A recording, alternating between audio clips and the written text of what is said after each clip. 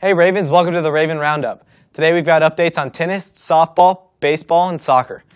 This morning, the Ravens tennis team was at SeaBack for regionals. They were out there looking to pick a few dubs and head on to state. Unfortunately, we don't have an update yet on scores, but check back next week for more details. Last night, the Lady Ravens softball team took on Olathe East. Prior to the game, they celebrated Team Bo, a young boy that has a rare genetic disorder. They were planning on raising awareness for him and his family. Unfortunately, they lost the first game, but came back strong to win the second. Make sure to come out and support your Lady Ravens as they take on their next softball game.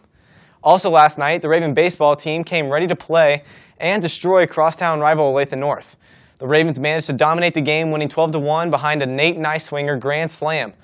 The Eagles were left in the dust with no hope to catch up, and the Ravens look to continue dominating throughout the season for another shot deep in the playoffs.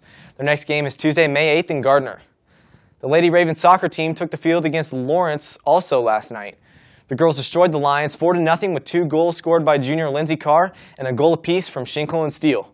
Kappelman shut out the Lions with many stops as the Ravens preserved their lead.